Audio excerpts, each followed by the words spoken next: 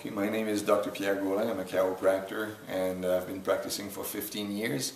I've been a chiropractic patient for about 23 years and uh, I have been treated uh, by lots of different chiropractors. I have uh, been treated with with lots of different chiropractic techniques. I have learned lots of different chiropractic techniques and uh, what impressed me most when I uh, came and uh, uh, get NCR is that uh, in one session I saw changes, more dramatic changes in my posture uh, than I've had in 23 years of getting chiropractic treatment and that was quite amazing to me.